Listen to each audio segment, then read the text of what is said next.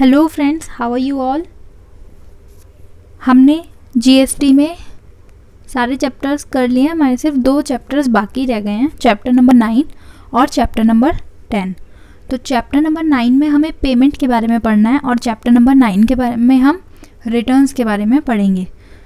Sorry chapter number nine में हम payment के बारे में पढ़ेंगे और चैप्टर नंबर टेन में हम रिटर्न्स के बारे में पढ़ेंगे. तो पेमेंट के रिलेटेड जो कुछ भी प्रोविजंस हैं हमारे, वो सारे हम इस चैप्टर में कवर करेंगे। सबसे पहले एज़ यूजुअल हम देख लेते हैं कि ओवरव्यू में क्या गिवन है। पेमेंट ऑफ़ टैक्स में हम पहले तो रिलेवेंट डेफिनेशन का सेक्शन है, जो कि हर चैप्टर में है और ऑलमोस्ट सारी डेफिनेशन सेम है। कुछ डेफिनेशंस हर चैप्टर में डिफरेंट हैं तो वो डेफिनेशंस हम यहाँ पे देख लेते हैं। जो डेफिनेशंस हर चैप्टर में सेम है, वो हमने ऑलरेडी फ़र्स्ट चैप्टर में देख ली थी। उसके बाद हम इलेक्ट्रॉनिक कैश लेजर के बारे में पढ़ेंगे इलेक्ट्रॉनिक क्रेडिट लेजर के बारे में पढ़ेंगे इलेक्ट्रॉनिक लाइबिलिटी लेजर के बारे में पढ़ेंगे। जब हमने ई वे बिल वगैरह की बात की थी तो वहाँ पे हमने रजिस्ट्रेशन की बात भी जब की थी, तब भी वहाँ पे हमने इलेक्ट्रॉनिक कैश क्रेडिट लेजर की बात की थी तो हमने वहाँ पे डिस्कस नहीं किया था कि इलेक्ट्रॉनिक क्रेडिट लेजर क्या होता है। वो इसलिए नहीं किया था क्योंकि वो हमें इस चैप्टर में करना था। तो अब देखते हैं यहाँ पे दे, हम देखेंगे इंटरेस्ट या डिले हमारी जो पेमेंट रहेगी उसके बारे में क्या होगा और transfer of input tax credit ये सारी चीज़ें हमें पेमेंट के चैप्टर में देखनी है। तो स्टार्ट करते हैं। पहले एक छोटा सा ओवरव्यू ले लेते हैं। इंट्रोडक्शन ले लेते हैं यहाँ पे। एक पर्सन था जिसको रजिस्ट्रेशन लेने की ज़रूरत पड़ी। क्यों लेने की ज़रूरत पड़ी रजिस्ट्रेशन क्योंकि उसने टैक्सेबल गुड्स को सप्लाई किया है। टैक्सेबल टेरिटरी के अंदर किया है और वो खुद भी एक टैक्सेबल पर्सन है। तो यहाँ पे उसको रजिस्ट्रेशन लेने की ज़रूरत पड़ी। अब वो रजिस्ट्रेशन ले ली उसने। देन वो अपने गुड्स को सप्लाई कर रहा है इंटर स्टेट या इंट्रा स्टेट जैसे भी करके। फिर उसको पेमेंट करनी पड़ेगी गवर्नमेंट को तो वो पेमेंट किस तरीके से हम करेंगे? जनरली जब हम पेमेंट करते हैं जीएसटी के अंदर तो हम चालान जनरेट करके पेमेंट करते हैं। वो जो चालान जनरेट होता है, वो हमारे इलेक्ट्रॉनिक लेजर्स के थ्रू जनरेट होता है। मतलब पैसे तो हमारे बैंक अकाउंट से ही कटते हैं, लेकिन अगर या तो हम अपने लेजर्स में पैसे पहले से ही सेव करके रखते हैं, या तो फिर अगर हमारे लेजर्स में पैसे नहीं होते हैं तो हम ऑन द स्पॉट पहले अपने अकाउंट से लेजर में पैसे ट्रांसफ़र करते हैं एंड देन उस लेजर से पेमेंट कर देते हैं। तो यहाँ पे रिलेवेंट डेफिनेशंस के सेक्शन में एजेंट हमारा हो रखा है ऑथोराइज बैंक यहाँ पे देख लेते हैं, ये हमने अभी तक नहीं देखा है।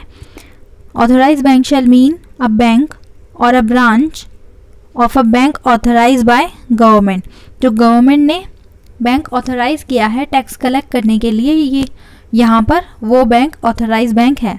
सपोज़ के गवर्नमेंट कह देती है एसबीआई को कि जो भी हमारे, हमें जो कुछ भी रिटर्न फ़ाइल करनी है, वो हमें एसबीआई के अकाउंट में ट्रांसफ़र करनी है। यानी कि जो कुछ भी हम टैक्स पे करेंगे, वो टैक्स हमारा एसबीआई के अकाउंट में जाएगा। कोई एक अकाउंट नंबर उन्होंने एसबीआई का दे दिया हमें कि इस अकाउंट में आपको सॉरी इस अकाउंट में आपको पेमेंट करनी है। तो वो हमारे लिए हो जाएगा ऑथोराइज बैंक देन हमारे पास बिज़नेस की डेफिनेशन है, ये हमने बहुत बार देख रखी है। उसके बाद सेंट्रल टैक्स है। Central tax means central goods and services tax levied under section nine ऐसे टैक्सेस जो सेंट्रल गवर्नमेंट के थ्रू सेंट्रल गुड्स पर लगाए जा रहे हैं। देन कॉमन पोर्टल हमारा G S T I N G S T का जो हमारा पोर्टल है G S T dot G O V dot in वो हमारा कॉमन पोर्टल होगा, जहाँ पे हम जी एस टी से रिलेटेड हर हर एक्टिविटी करते हैं। हम अपनी रिटर्न भरने के लिए, अपना रजिस्ट्रेशन लेने के लिए वहीं जाते हैं। रिटर्न भरने के लिए उसी पोर्टल पर जाएँगे। आईटीसी फ़ाइल करने के लिए हम उसी पोर्टल पर जाएँगे। पेमेंट करने के लिए हम उसी पोर्टल पर जाएँगे। सारी चीज़ें हमारे पोर्टल पर ही होती हैं। Council means goods and services tax council established under article 279 A of the constitution constitution के आर्टिकल नंबर 279 ए के थ्रू जो काउंसिल बनाई गई है, हम बार बार कहते हैं कि रिकमेंडेशन ऑफ़ काउंसिल ये वही काउंसिल है। Electronic cash ledger means electronic cash ledger referred to in sub section number one of section number forty nine. यहाँ पर डेफिनेशन में हमें बस ये बोल दिया गया है कि जो सेक्शन नंबर फोर्टी नाइन का सब सेक्शन नंबर वन कह रहा है, वो इलेक्ट्रॉनिक कैश लेजर होता है। सेम चीज़ यहाँ पे गिवन है इलेक्ट्रॉनिक क्रेडिट लेजर के लिए। सबसेक्शन नंबर टू में हम देखेंगे उसको। इंटीग्रेटेड टैक्स क्या होता है? जो हमारा इंटीग्रेटेड गुड्स और सर्विसेज़ के ऊपर लगता है, यानी कि जिसमें सेंट्रल भी सेंटर भी इन्वॉल्व है और स्टेट भी इन्वॉल्व है। उसको हम इंटीग्रेटेड टैक्स कहेंगे, यानी कि जब हम इंटर स्टेट सप्लाई करते हैं, वहाँ पे हमारा इंटीग्रेटेड टैक्स लगेगा। इनपुट टैक्स हमने आईटीसी के चैप्टर में पढ़ा था। इनपुट टैक्स क्रेडिट भी हमने वहीं पे इनपुट टैक्स क्रेडिट ही वही है। लोकल अथॉरिटी क्या होती है, ये भी हमने देखा था। इसमें हम पंचायत वगैरह को इंक्लूड करते हैं म्यूनसिपैलिटी को इंक्लूड करते हैं। म्यूनसिपैलिटी कमेटी जिला प्रसाद जिला परिषद सॉरी मैंने प्रसाद बोल दिया इसको। कंटेनमेंट बोर्ड इन सबको हम लोकल अथॉरिटी में ले लेते हैं। रीजनल काउंसिल भी, यहाँ पे लोकल अथॉरिटी का पार्ट है। डीडीए भी हमारा लोकल अथॉरिटी का पार्ट है। Then notification means a notification published in official gazette notification means a notification published in official gazette यानी कि जो पब्लिक को बताने के लिए नोटिफिकेशन दिया जाता है, यहाँ इस लॉ में उसको नोटिफिकेशन माना गया है। पब्लिक को लॉ के बारे में जो हम इन्फॉर्म कर रहे हैं, उस नोटिफिकेशन को यहाँ पे नोटिफिकेशन माना गया है।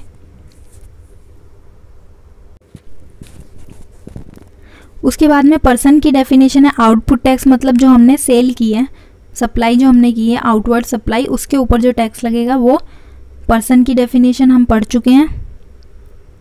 रिसिपियन की definition state tax supplier taxable valid valid return ये डेफिनेशन हमने नहीं पढ़ी है। Valid return means furnished under sub section one of section number thirty nine section number thirty nine के सब सेक्शन वन के अकॉर्डिंग जब हम रिटर्न फ़ाइल करते हैं तो वो हमारी वैलिड रिटर्न मानी जाती है which which self assess tax been paid in full जिस पे हमने अपना सारा असेस टैक्स पे किया है।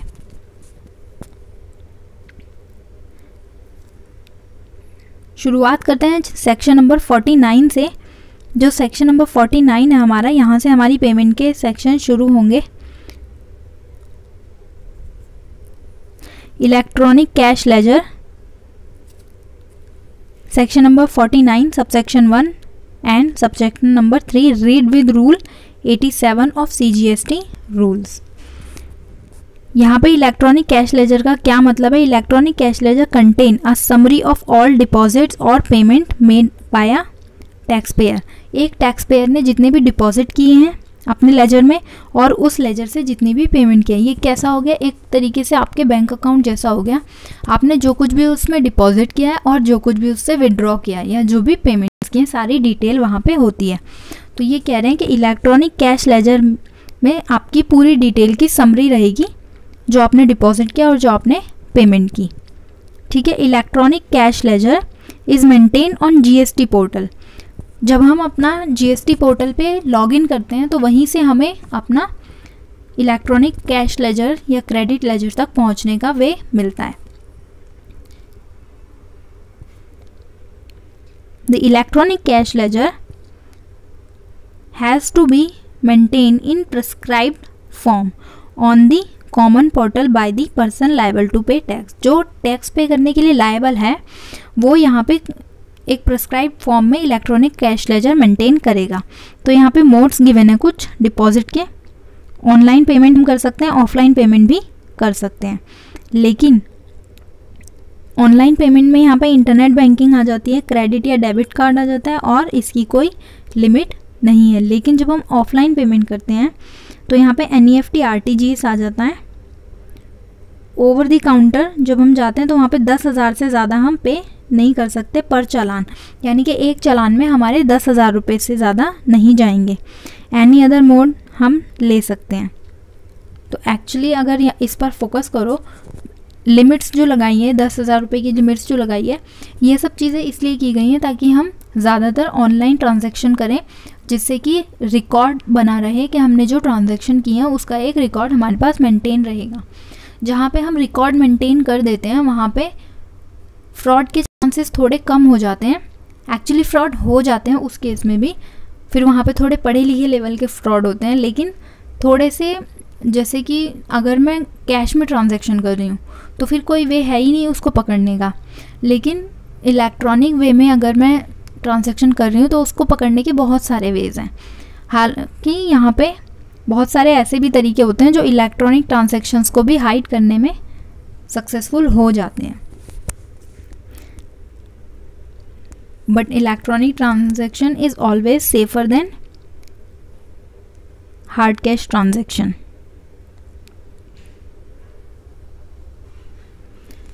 non applicability of non applicability of over the counter payment यानी कि ओवर द काउंटर पेमेंट जो है हमारी, उसकी नॉन एप्लीकेबिलिटी कहाँ कहाँ पर होगी? प्रॉपर ऑफिसर और अदर ऑफिसर ऑथराइज जब यहाँ पे डिपॉजिट या पेमेंट किया जाएगा प्रॉपर ऑफिसर या फिर किसी और ऑफिसर से जो कि ऑथराइज है पेमेंट के लिए तो वहाँ पे on over the counter payment नहीं होगी। कोई गवर्नमेंट डिपार्टमेंट पे कर रहा है, तब वहाँ पे ओवर द काउंटर पेमेंट नहीं होगी। To recover outstanding dues including attachment proceedings और स्टेट ऑफ़ मूवेबल और इमूवेबल प्रॉपर्टीज़ इस केस में हम यहाँ पे ओवर द काउंटर पेमेंट नहीं कर सकते। To collect the amount by way of cash cheque demand draft during any investigation enforcement activity and any ad hoc deposit ad hoc deposit enforcement activity या investigation के case में over the counter payment नहीं होगी। Person notified by commissioner commissioners ने जो person notify किया है, उसके through over the counter payment acceptable नहीं मानी जाएगी।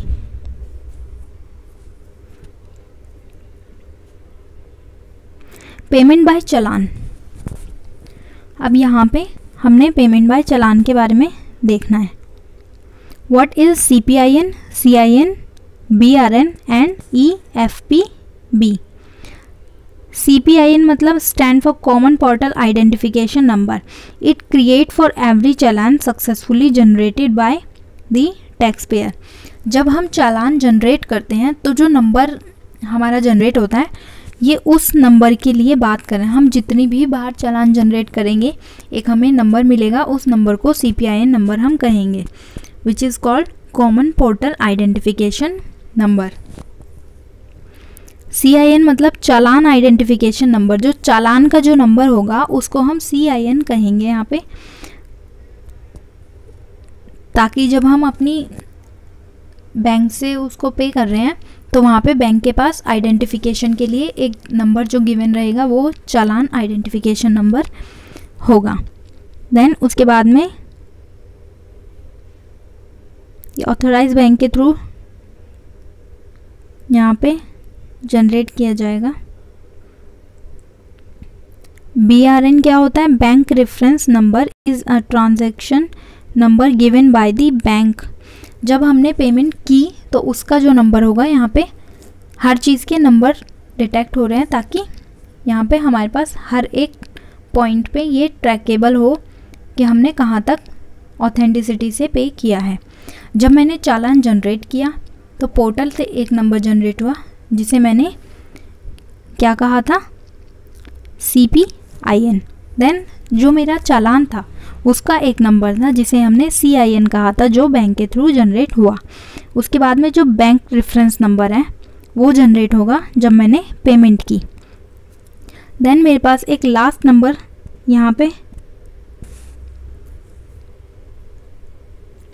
E F P B stand for electronic focal point branch these are branch of authorise bank which are authorise to collect payment जहाँ जहाँ पेमेंट कलेक्ट करने के लिए बैंक ऑथराइज हैं, अपनी जिस जिस ब्रांच में, उसको हम ई एफ़ पी बी कहेंगे।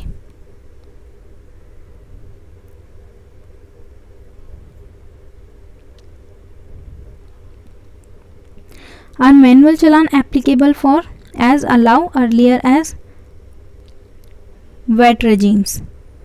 Manual challan या फिजिकली या physical challan are not allow under GST regime यानी कि हम यहाँ पे मैनुअल या फ़िज़िकल चालान एक्सेप्ट नहीं करते हैं। हमें पोर्टल के थ्रू जनरेटेड चालान ही यहाँ पे एक्सेप्टेबल माना जाएगा, जो ऑनलाइन पोर्टल से जनरेट हुआ है। How many types of challan are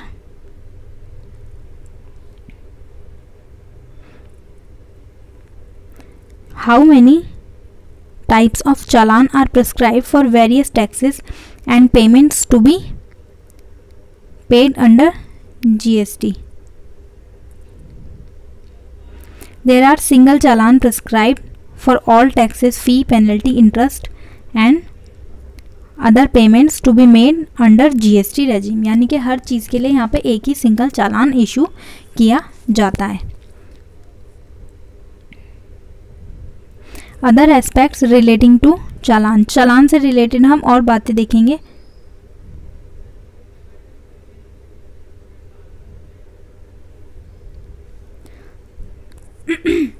E challan validity पंद्रह दिन की होती है, जिसमें commission for making payment through E challan has to be borne by person making the payment जो पेमेंट कर रहा है, वही उसकी कमीशन वगैरह भी पे करेगा। और उसकी वैलिडिटी पंद्रह दिन की रहेगी। Any unregistered person has to make payment on the basis of temporary identification number generated through common portal जो यहाँ पे अभी तक जिसको रजिस्ट्रेशन नहीं मिला है, उसको टीआरएन तो मिला होगा तो वो उस टीआरएन के थ्रू पे कर सकता है। The mandate form obtain after making N E F T और R T G S payment has to be submitted in the bank the validity of the mandate form is fifteen days जब हम N E F T R T G S के through payment कर रहे हैं तो वहाँ पे एक मैंडेट फॉर्म हमें ऑप्टेन करना होगा, जिसकी वैलिडिटी भी पंद्रह दिन की रहेगी। On successful credit amount in the concern government account maintain in authorise bank challan identification number C I N will be generated by the collecting bank which will be indicated in challan. वही चीज़ जो हमने ऊपर देखा था C I N bank generate करता है, जिससे हम चालान को आइडेंटिफाई कर सकते हैं। जब हम यहाँ पे चालान को मतलब अमाउंट को क्रेडिट कर देते हैं तो वहाँ पे हमारे चालान में जो अमाउंट आ जाता है, उस पर हमें ये सी आई एन मिलता है। चालान तभी जनरेट होगा ना जब हम उसमें अमाउंट डालेंगे। काफ़ी बार ऐसा होता है कि हमारे लेजर्स में अमाउंट होता है, फिर हमें उससे चलान क्रिएट करना होता है तो वो तब वहाँ से अमाउंट जब कट जाएगा, तब हमारा सी आई एन जनरेट होता है। एंड देन जब हम पे कर देते हैं तो उसके बाद में हमारा बैंक रेफरेंस नंबर आता है। The deposit made by one of the modes and in prescribe manner will be credited to electronic cash ledger यानी कि जो डिपॉजिट हमने किया है वो इलेक्ट्रॉनिक कैश लेजर में हमारा जाएगा। The receipt of C I N जो हमारा चालान का आइडेंटिफिकेशन नंबर है। उसके बारे में यहाँ पे बोल रहे हैं। C I N from the collecting bank this set amount credited into electronic cash ledger of the person on whose behalf deposit is made and common portal will generate the receipt to this effect. यानी कि हमने चालान generate कर लिया उस person के behalf पे जिसको यहाँ पे पेमेंट करना है। उसकी एक रिसिप्ट जनरेट होगी कि हमने ये ट्रांजैक्शन की है यहाँ पे। उस ट्रांजैक्शन की रिसिप्ट जनरेट होगी। उसके बाद में C I N is not generate even after making payment अगर सी आई एन नहीं बनता है पेमेंट करने के बाद भी। And submission of mandate form और आफ्टर जनरेशन हमने मैंडेट फॉर्म्स भी सबमिट कर दिया, उसके बाद भी हमारा सी आई एन जनरेट नहीं हुआ। It has not reflect in the common portal the person making the deposit और the person on whose behalf the deposit has been made can make the representation in prescribed form हम एक prescribed form में representation दे सकते हैं कि ये situation हुई है हमारे साथ। हमने पेमेंट भी कर दिया और उसके बावजूद भी हमारे पास चलान का सी आई एन नंबर नहीं मिला है।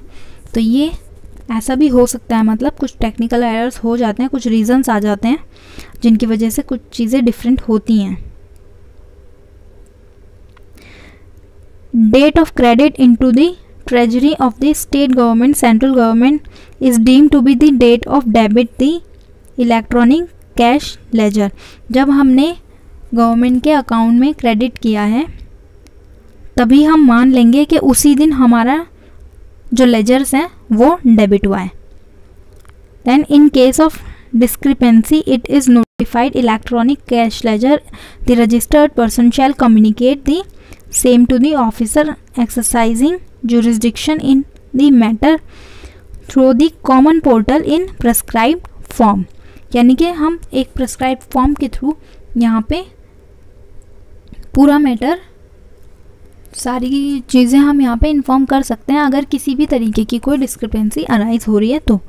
सपोज़ कि मैंने पेमेंट कर दी, लेकिन फिर भी मुझे पेमेंट का रेफरेंस नंबर नहीं मिला। बैंक रेफरेंस नंबर मुझे तब भी नहीं मिला।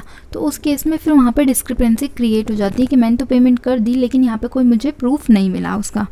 तो उस केस में हम यहाँ पे फॉर्म फ़ाइल कर सकते हैं।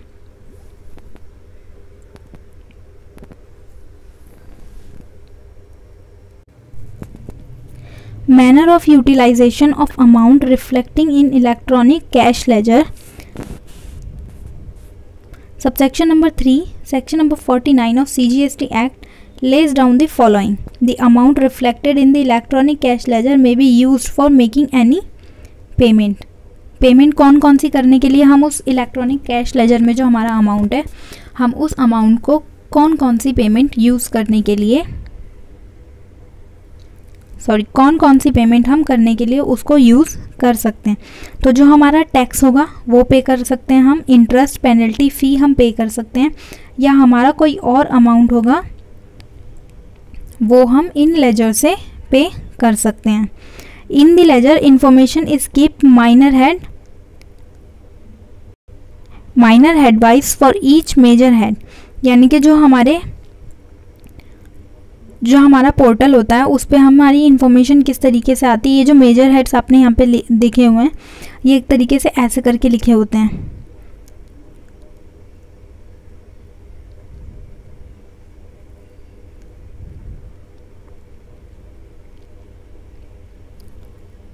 जस्ट अ सेकेंड यहाँ पे लिख के देखते हैं।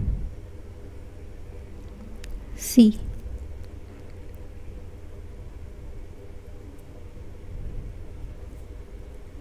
इसको एकदम छोटा सा कर देते हैं। ये हमारे होते हैं, यहाँ पे ऐसे करके मेजर हेड्स होते हैं और उसमें होते हैं माइनर हेड्स इधर यहाँ पे हमारे माइनर हेड्स होते हैं, यानी कि यहाँ पे सी जी एस टी लिखा होगा, यहाँ पे आई जी एस टी लिखा होगा एस जी एस टी लिखा होगा, यहाँ सी जी एस टी लिखा होगा, यहाँ पे आई जी एस टी लिखा होगा। इस तरीके से यहाँ पे लिखा रहता है सारा। उसके बाद में यहाँ पे टैक्स लिखा होता है देन यहाँ पे इंटरेस्ट लिखा होता है।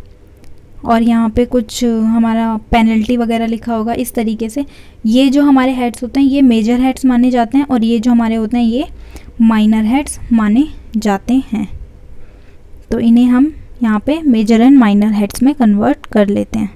मतलब इनको मेजर एंड माइनर हेड्स क्या होते हैं, ये मैंने आपको समझा दिया। क्योंकि मेरे पास लिखने की जगह नहीं थी, इसलिए मुझे एक कोने को ऐसा करना पड़ा। अदरवाइज़ मैं आपको वाइट बोर्ड पर लिख के दिखा देती बट यहाँ पे मेरे पास वो फैसिलिटी अभी नहीं है due to some technical errors I can't write over because मेरा ये पेन भी नहीं चलता है। तो आप थोड़ा सा इसी से काम चला लेना तब तक। मैं अगर ये पेन को यहाँ पे ऐसे चलाने की कोशिश कर रही हूँ, आज तो काम कर रहा है। नहीं कर रहा है। ठीक है, आगे बढ़ते हैं हम। इसकी थिकनेस को ठीक कर लेते हैं थोड़ा सा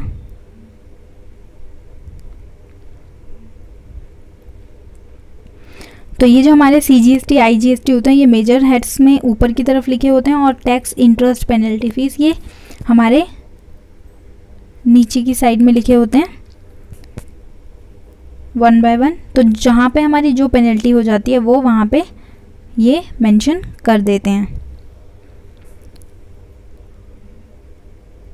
यही लिखा है उसके अंदर, पूरे पोर्शन में। Electronic credit ledger section number forty nine subsection two four and five section number forty nine A subsection section number forty nine B read with rule number eighty six eighty eight A of the C G S T rules तो इन सब चीज़ों के साथ में हम यहाँ electronic credit ledger के बारे में पढ़ लेते हैं। तो इलेक्ट्रॉनिक क्रेडिट लेजर हमारा एक्चुअल में होता क्या है? जो हमारी इनपुट टैक्स लाइबिलिटी है, जो हमने सेल्फ असेस किया है। उसको जब हम जस्ट अ सेकेंड जो हमारी इनपुट टैक्स लाइबिलिटी थी, जो हमने सेल्फ असेट्स किया था मंथली बेसिस पे हम उसको सेल्फ असेस करते हैं, वो हमारी आईटीसी के लेजर में दिखेगी। जो हमारा आईटीसी का लेजर होता है, जहाँ पे हम इनपुट टैक्स क्रेडिट लेते हैं, वो वाले लेजर में, वो वाली हेड में हमें वो नज़र आएगी। तो जो हमारा क्रेडिट रहेगा ना, उस लेजर के अंदर इलेक्ट्रॉनिक क्रेडिट लेजर के अंदर। वहाँ से हम पेमेंट करने के लिए यूज़ करेंगे। यानी कि आईटीसी मेरा ये रहा।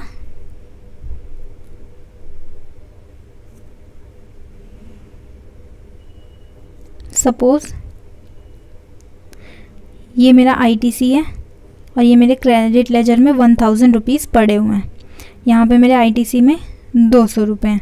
तो जो मेरे और मेरी टैक्स लाइबिलिटी हो गई एटीन हंड्रेड की। तो यहाँ पे दो सौ रुपये तो मैं यहाँ से एडजस्ट कर लूँगी। ये मेरा आईटीसी है। ठीक है? और वन थाउज़ेंड रुपीज़ मेरे इलेक्ट्रॉनिक क्रेडिट लेजर में पड़े हुए हैं। ठीक है? यहाँ से मैंने ले लिए और थोड़े से मैंने वहाँ से ले लिए। तो अब क्या होगा इस केस में? ट्वेल्व हंड्रेड तो ये हो गए। बाकी के जो सिक्स हंड्रेड रुपीज़ बचे हैं वो मैं इलेक्ट्रॉनिक कैश लेजर में डिपॉजिट करूँगी और मैं वहाँ से पे करूँगी।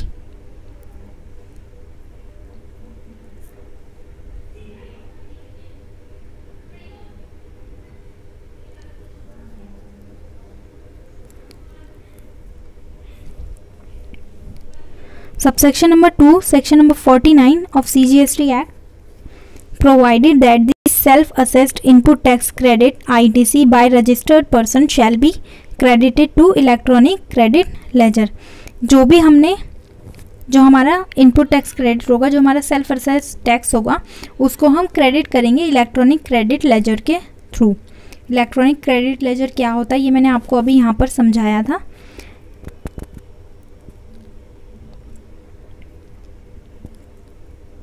non utilization of ITC of tax liability under reverse charge mechanism. क्योंकि हमने ये चीज़ बार बार देखी है कि जो रिवर्स चार्ज होता है रिवर्स चार्ज के केस में हम आईटीसी अवेल नहीं कर सकते। रिवर्स चार्ज के केस में हमें रिस्ट्रिक्शन होता है कि हम आईटीसी अवेल नहीं कर सकते। वही बात यहाँ पे भी रिपीट होके एक बार फिर से हम देख रहे हैं कि जो अमाउंट अवेलेबल होगा in electronic cash ledger, credit ledger, sorry. Electronic credit ledger में जो अमाउंट अवेलेबल है may be use for making the payment towards outward tax liability हम उसे आउटवर्ड टैक्स लाइबिलिटी तो कर सकते हैं, लेकिन हम वहाँ से अपनी, अगर हमने रिवर्स चार्ज में टैक्स पे करना है तो हम उसके लिए आईटीसी को यूज़ नहीं कर सकते। हम अपने आईटीसी को वहाँ पे यूटिलाइज नहीं कर पाएँगे। देन मैनर ऑफ़ यूटिलाइजेशन अब यहाँ पे मैं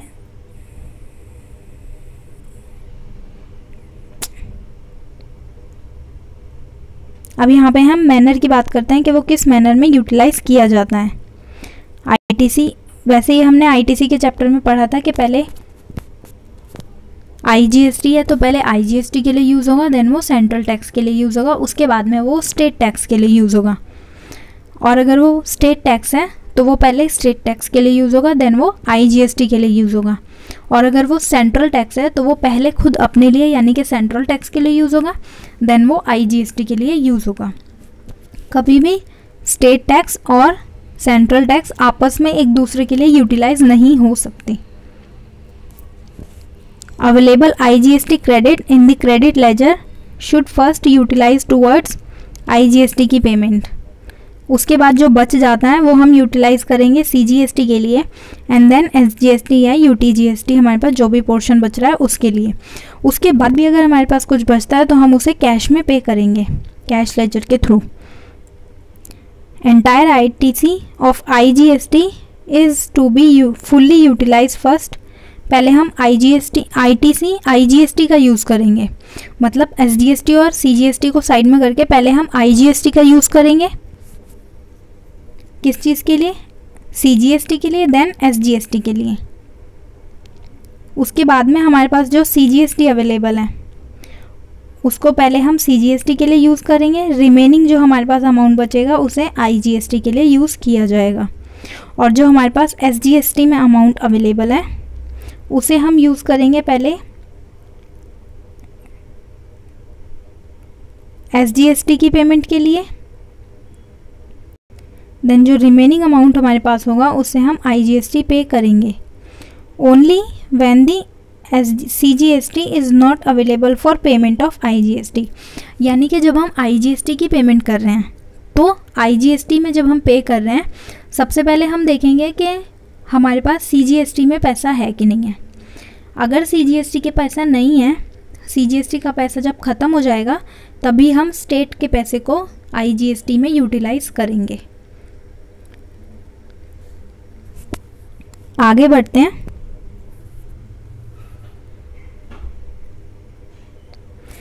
इलेक्ट्रॉनिक लाइबिलिटी रजिस्टर, ये हमारा तीसरा topic, electronic liability register.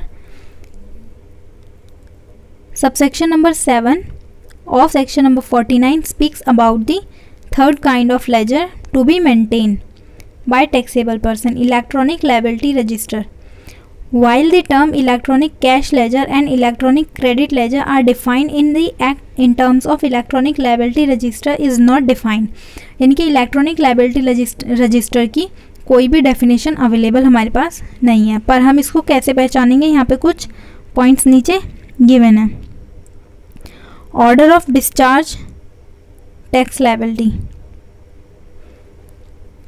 subsection number eight prescribe the chronological order in which the liability of taxable person has to be discharge इससे पहले हम यहाँ पे एक बार ये देख लेते हैं।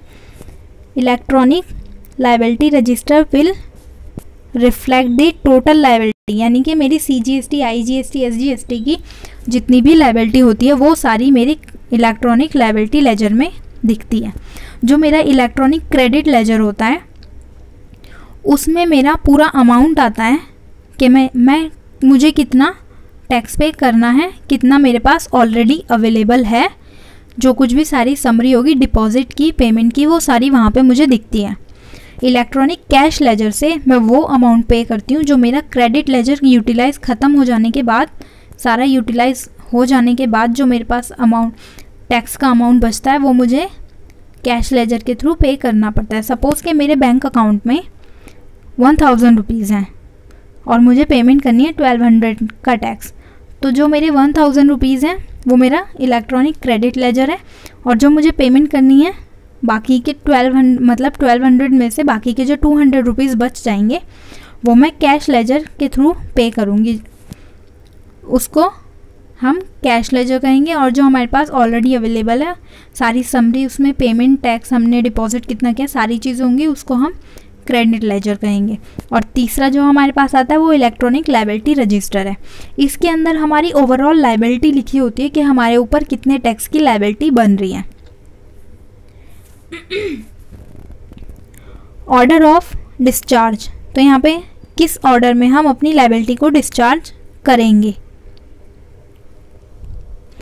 सबसेक्शन नंबर एट इन ये हमने देख लिया कि यहाँ पे हमें बताएगा सबसेक्शन नंबर एट से हमें पता चलेगा कि हमें किस ऑर्डर में करना है। तो self assess tax and other dues for the previous tax period have to be discharge first जो मेरा करंट टैक्स का जो पीरियड रहेगा, यानी कि जो मेरा प्रीवियस ईयर का टैक्स प्रीवियस टैक्स पीरियड का जो लाइबिलिटी रहेगी, पहले उसको मैं डिस्चार्ज करूँगी। उसके बाद में self assess tax other dues of the current period उसके बाद में जो मेरा करंट पीरियड चल रहा है, उसकी लाइबिलिटी में डिस्चार्ज करूँगी। सपोज़ कि मैं, अभी मई जून के मंथ में, जून के मंथ में मुझे टैक्स पे करना है, लेकिन मैंने मई के मंथ की भी नहीं फ़ाइल की है रिटर्न ठीक है? या फिर सपोज़ करो कि जुलाई के मंथ में हम हैं और मुझे जून की रिटर्न फ़ाइल करनी है और जुल, मई की भी रिटर्न मुझे फ़ाइल अभी करनी है, मैंने अभी तक वो नहीं की है। तो जो मेरा करंट पीरियड होगा, वो मेरा जून होगा, क्योंकि रिसेंट जो है, जो हमारी रिसेंट रिटर्न जानी थी, वो जून की जानी थी। मैं थ्री बी की बात कर रही हूँ, जो मंथली रिटर्न होती है। तो मेरे लिए जो प्रीवियस ईयर का प्रीवियस पीरियड हो जाएगा प्रीवियस ईयर नहीं प्रीवियस पीरियड जो मेरा हो जाएगा, वो है मई का मंथ तो मई के लिए जो मेरी रिटर्न जाएगी, वो प्रीवियस पीरियड में जाएगी। पहले मुझे उसको फ़ाइल करना होगा, उसके बाद मैं जून की रिटर्न फ़ाइल कर सकती हूँ। यानी कि पहले मई का फ़ाइल होगा। अगर उससे पहले के भी मैंने नहीं भरे सपोज़ कि मैंने फेबररी से ही नहीं भरा तो मैं पहले फेबररी भरूँगी, फिर मैं मार्च भरूँगी, फिर अप्रैल मई एंड देन जून की रिटर्न फ़ाइल कर सकती हूँ।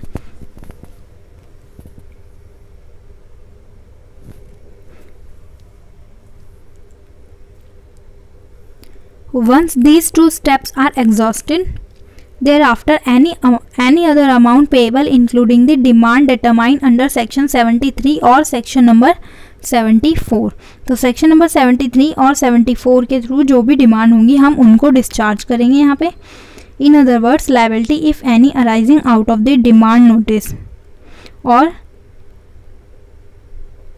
एडजुडिकेशन प्रोसीडिंग्स कम लास्ट मतलब पहले हमने अपनी जो हमारी लाइबिलिटी बन रही थी, पहले प्रीवियस ईयर्स की लगाएँगे, उसके बाद में करंट पीरियड की लगाएँगे देन हम सेक्शन 73 एंड 74 के थ्रू डिमांड की लाइबिलिटी लगाएँगे देन उसके बाद में जो हमारे पास एजुडिकेशन प्रोसीडिंग्स होंगी, वो सबसे आखिर में हम पे करेंगे।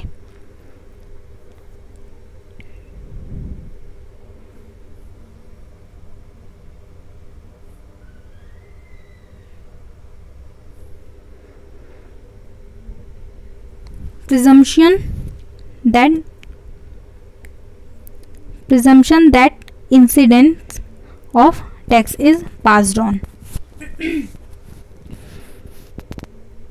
subsection number 9 contain a deemed clause this part of the section provides that when a taxable person has paid CGST under the corresponding act यानी कि इससे हमें पता चलेगा कि किस पर्सन के ऊपर सीजीएसटी एक्ट की लाइबिलिटी बन रही है। The taxable person is deem to have pass on the incident incident of such payment of tax to the recipient यानी कि जो टैक्स की पेमेंट करनी थी, वो उसने रिसिपियंट के ऊपर पास कर दिया। इसीलिए तो हम इसको इनडायरेक्ट टैक्स कहते हैं। Thus if tax has been paid under C G S T act then the taxable person is deemed to have passed on the incident of such payment of CGST to the recipient. Person number A ने B के ऊपर ये liability pass on कर दी। ये normal चीज़ है। Indirect taxation में यही होता है। हमने फ़र्स्ट क्लास में यहाँ पे देखा था कि हमारे इनडायरेक्ट टैक्सेशन का सबसे बड़ा फीचर यही है कि हम उसका बर्डन पास ऑन कर सकते हैं।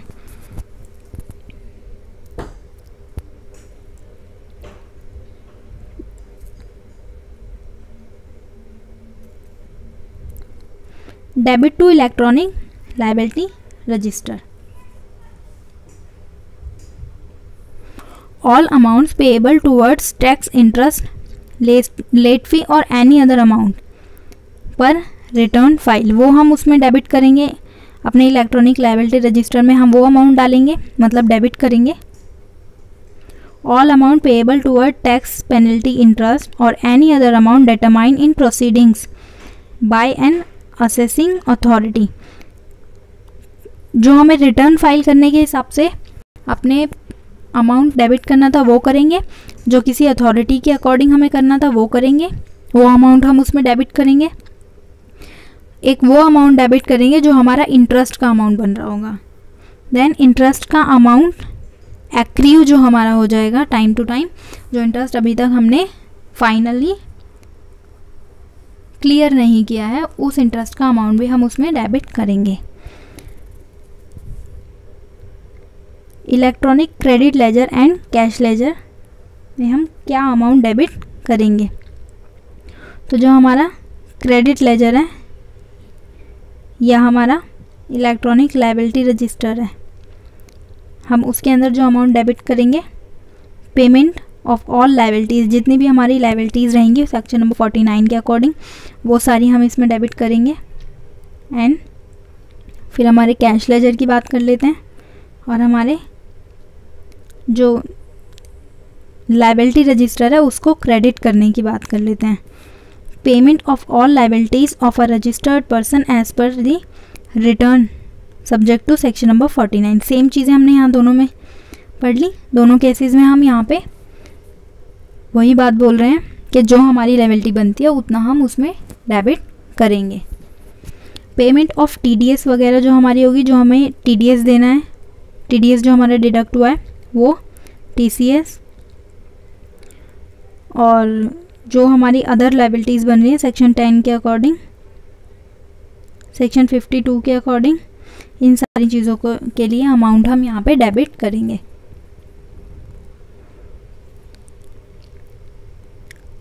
Do the new payment system benefit the tax payer and the commercial tax department तो इसका हमें क्या फ़ायदा होगा? जो हमारा टैक्स पेयर होगा, उसको क्या फ़ायदा होगा? या डिपार्टमेंट को क्या फ़ायदा होगा? सबसे पहला नो मोर क्यूज़ क्योंकि हमें ऑनलाइन सारा काम करना है तो यहाँ पे लाइन ही नहीं लगानी पड़ेगी वेट नहीं करना पड़ेगा। ट्वेंटी फोर सेवन की हमारे पास सर्विस अवेलेबल है। हालाँकि ऐसा होता नहीं है। मैं भी जब रिटर्न फ़ाइल करती हूँ तो वहाँ पे बहुत ज़्यादा स्टक हो जाता है। मतलब कुछ तो प्रॉब्लम्स आ जाती हैं क्योंकि ऑब्वियसली वो पोर्टल है। तो पोर्टल पे जितने ज़्यादा लोग काम कर रहे होंगे उस टाइम पे, वो स्टक हो ही जाता है। Instant online receipt of payment है। मतलब हम इंस्टेंट पेमेंट्स कर सकते हैं।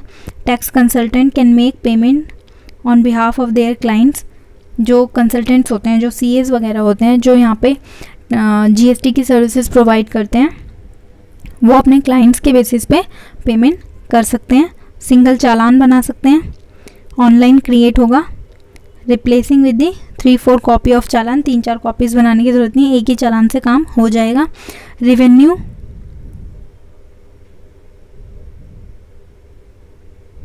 गवर्नमेंट के पास जो रिवेन्यू आएगा वो थोड़ा जल्दी आ जाएगा। ज़्यादा बड़ी ट्रांसपेरेंसी है यहाँ पे। अच्छे से मतलब हमें पता है कि हमने कितना पे किया और कितना गया, कितना देना चाहिए था, ये सारी ट्रांसपेरेंसी है। ऑनलाइन पेमेंट्स हैं आठ बजे तक। Online payments made after PM will be created to the tax payers account on the same day credited to the tax payer account payment on the same day then section number fifty interest on delayed payment जो हमने payment करने में देर कर दी तो उसके ऊपर हमें interest पे करना पड़ता है। सपोज़ कि मैंने मेरा जो मे का जो लाइबिलिटी थी, जो मे वाली रिटर्न मैंने फ़ाइल नहीं की थी, उसके ऊपर मेरा पेनल्टी बन रही है तो उस पेनल्टी के साथ में इंटरेस्ट भी लग रहा है। अब उस इंटरेस्ट को जो मैं पे करूँगी डिले पेमेंट के लिए, जो मुझे इंटरेस्ट पे करना है, वो मैं सेक्शन नंबर फिफ्टी के अकॉर्डिंग यहाँ पे हम उसके लिए रूल्स देखेंगे। तो आगे बढ़ते हैं।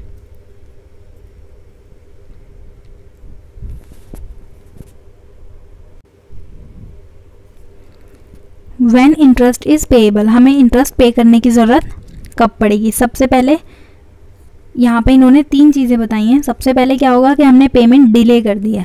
यानी कि जो मई में मुझे पे करना था टैक्स मई का टैक्स जो मुझे जून में पे करना था, वो मैं अब जुलाई में आकर के पे कर रही हूँ। तो यहाँ पे मैंने डिले कर दिया, इसलिए मुझे यहाँ पे इंटरेस्ट पे करना पड़ेगा। अनड्यू और excess claim of input tax credit मैं, मुझे जो इनपुट टैक्स क्रेडिट जो मुझे क्लेम करना था, वो मैंने एक्स्ट्रा क्लेम कर लिया यानी कि टेन थाउज़ेंड रुपीज़ का या मान लो कि फिफ्टीन हंड्रेड रुपीज़ का मुझे इनपुट टैक्स क्रेडिट क्लेम करना था। लेकिन मैंने कितने का कर लिया? ट्वेंटी फाइव हंड्रेड का कर लिया। या टू थाउज़ेंड का कर लिया। तो यहाँ पे इस केस में भी मुझे पेमेंट करनी पड़ेगी इंटरेस्ट की, या फिर अंडियो और excess reduction in output tax liability मैंने अपनी आउटपुट टैक्स लाइबिलिटी ही रिड्यूस कर दी। उस केस में भी मुझे यहाँ पे इंटरेस्ट पे करना पड़ जाएगा। Section number 42 subsection number 10 of CGST act deals with the contravention of provision of matching matching of claim for input tax credit by the recipient procedure क्या होता है? जब मैंने टैक्स लाइबिलिटी मतलब जब मैंने सप्लाई की तो मैंने अपनी सप्लाई की डिटेल्स रिटर्न में डाली, फिर वो रिसिपिएंट के पास जाएगा और रिसिपिएंट उसको अपने हिसाब से मैच करेगा कि उसकी लेवल उसके जो डिटेल्स के हिसाब से आ रहा होगा, वो अपनी डिटेल्स उसमें पुट करेगा। तो बेसिकली ये मेरी डाली, मेरी पुट की हुई डिटेल्स और जो रिसिपिएंट है, उसकी पुट की हुई डिटेल्स सेम होनी चाहिए ऑन दी पर्टिकुलर गुड्स क्योंकि ऐसा नहीं है कि उसने मतलब अगर उसने मुझसे सप्लाई रिसीव की है तो उसने औरों से भी की होगी।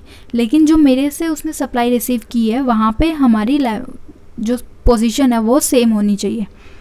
तो इस पोजीशन को यहाँ पे हम सेम रखते हैं ताकि हम मैच कर सकें कि दोनों जगह से बराबर की सेम चीज़ आ रही है कि नहीं आ रही है। इससे हमें पता चल जाता है कि कहीं कोई डिफ़ॉल्ट तो नहीं है। Section number 43 subsection number 10 of C G S T act deals with the contravention of provision for matching the claim of reduction of output tax liability दोनों बातों में हमने वही देखा कि हम मैच कर सकते हैं अपनी लाइबिलिटीज़ को। कि दोनों तरफ़ से सेम चीज़ आ रही है कि नहीं आ रही है? Rate of interest the rate of interest shall be notified by the government कि कितना रेट लगेगा ये गवर्नमेंट हमें बताएगी। On the recommendation of council however the such rate shall be notified not exceed अट्ठारह परसेंट अट्ठारह परसेंट से ज़्यादा वो नहीं हो सकता। In case of belated payment जो देर से हमने पेमेंट किया, उसके लिए, या फिर फेलियर टू पे टैक्स उसके लिए टू दी गवर्नमेंट अकाउंट यानी कि 18 परसेंट से ज़्यादा इंटरेस्ट हम नहीं ले सकते, जो हमने पेमेंट देर से की है, या फिर हमने टैक्स पे नहीं किया है इन दोनों केसेस में। दूसरा 24 परसेंट ऑफ़ अनड्यू और एक्सेस क्लेम ऑफ़ आईटीसी मैंने आईटीसी ज़्यादा क्लेम कर लिया तो मुझे 24 परसेंट तक का मैक्सिमम इंटरेस्ट देना पड़ सकता है। या फिर मैंने अपनी आउटपुट टैक्स लाइबिलिटी को ही रिड्यूस कर दिया तो भी यहाँ पे मुझे 24 परसेंट तक का इंटरेस्ट देना पड़ सकता है और ये 24 परसेंट का पर एनम के हिसाब से होगा। Computation of period for calculating the interest जो हम पीरियड कैलकुलेट करेंगे period of interest will be from the date of the following due dates of the payment जब हमें पेमेंट ड्यू हो गई थी, उस दिन से हम वहाँ पे इंटरेस्ट के डेज़ काउंट करेंगे। सपोज़ कि मेरी पेमेंट ड्यू हुई थी ट्वेंटी ऑफ़ जुलाई को। और मैंने उसको पे नहीं किया आने वाले चार दिनों तक। तो वो चार दिन कहाँ से काउंट होंगे? वो ट्वेंटी ऑफ़ जुलाई को मुझे पे करना था। तो मेरे ट्वेंटी फ़र्स्ट जुलाई twenty second July twenty third July and twenty fourth July count किया जाएगा। Other relevant points the term tax here means the tax payable under the rules made here under जो टैक्स यहाँ पे payable रहेगा, हम उसको tax कह के डिनोट कर रहे हैं। पेमेंट ऑफ़ इंटरेस्ट की बात हो रही है यहाँ पे बिलेटेड पेमेंट के केस में should be made voluntarily without a demand यानी कि गवर्नमेंट आके हमसे नहीं कहेगी कि तुम इंटरेस्ट पे करो। वो हमारी लाइबिलिटी है, हमें ही पे करना पड़ेगा। हालाँकि जब हम रिटर्न फ़ाइल करते हैं तो वो हमें रिटर्न ही आगे नहीं बढ़ने देता है, जब तक कि हम वो पेमेंट नहीं कर देते। तो एक तरीके से ये फोर्सफुल ही है, लेकिन क्योंकि हमारी लाइबिलिटी है तो ये वैलिड भी है। जब हमारी लाइबिलिटी है तो हमें उसको चुकाना पहले बनता है। Interest payable under this section shall be debited to the electronic liability ledger electronic liability register the liability for interest can be settle by the adjustment with balance electronic cash ledger but not with the balance of electronic credit ledger जो मेरी interest की liability है वो उसकी जो payment है उसकी जो एडजस्टमेंट है वो कैश लेजर के थ्रू जाएगी ना कि क्रेडिट लेजर के थ्रू तो यहाँ पे ये शायद मेरा लास्ट टॉपिक होगा. यस yes, ये लास्ट टॉपिक है.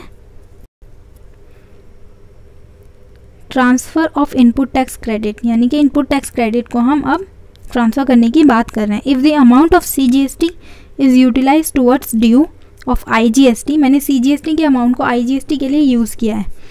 In terms of section number 53 जो हमने वहाँ सीक्वेंस पढ़ा था कि पहले सी जी एस टी को सी जी एस टी के लिए यूज़ करेंगे then I G S T के लिए यूज़ करेंगे। Of the C G S T act two thousand of the C G S T act there shall be reduction in the amount of CGST equal to the credit of so utilize जो credit utilise हो गया, उसका हम उतना amount से CGST को भी reduce कर देंगे। And the central government shall transfer such amount equivalent to the amount so reduced in CGST amount to the IGST यानी कि सीजीएसटी का जो हमारा टैब होगा, उसके अंदर से हमारा अमाउंट ट्रांसफ़र जो हो जाएगा वो दूसरे उसमें आईजीएसटी वाले टैब में हो जाएगा।